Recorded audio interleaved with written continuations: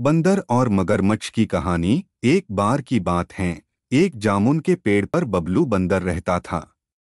उस जामुन के पेड़ पर बहुत ही मीठे मीठे जामुन लगते थे। एक दिन एक मगरमच्छ खाना तलाशते हुए पेड़ के पास आया। उसने बबलू बंदर से जामुन खाने के लिए मांगे। बबलू बंदर ने मीठे जामुन मगरमच्छ को खाने के लिए दिए।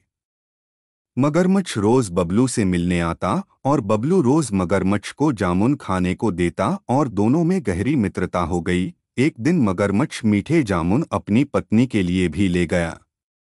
स्वादिष्ट जामुन खाने के बाद उसकी पत्नी का दिल ललचाया और उसने सोचा, जो बंदर रोज ऐसे मीठे फल खाता है, उसका दिल भी खूब मीठा होगा। पत्नी ने बीमारी का बहाना बनाया और मगरमच्छ को कहा, उसकी बीमारी बंदर के दिल खाने से ही ठीक हो सकती है। और वो इसी जिद पर अड़ गई। पत्नी की जिद से मजबूर हुए मगरमच्छ ने बंदर का दिल लाने की योजना बनाई और बंदर से कहा कि उसकी भाभी ने उसके लिए पकवान बनाए हैं और उसे घर पर बुलाया है। बबलू बंदर बोला कि वो नदी में तैर नहीं सकता।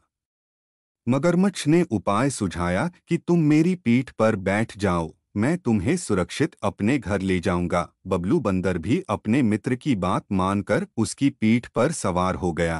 काफ़ी दूर जाने के बाद मगरमच्छ ने सोचा कि अब बंदर को सही बात बताने में कोई हानि नहीं है, और उसने भेद खोल दिया कि उसकी पत्नी उसका दिल खाना चाहती है। बंदर चिंतित और निराश हो गया। लेकिन उसने अपने विवेक का इस्तेमाल किया। बंदर मगरमच्छ से बोला, धत तेरे की, तुमने यह बात मुझे पहले क्यों नहीं बताई? मैं तो अपना दिल जामुन के पेड़ में संभाल कर रखता हूँ, तुम जल्दी से मुझे वापस जामुन के पेड़ पर ले चलो।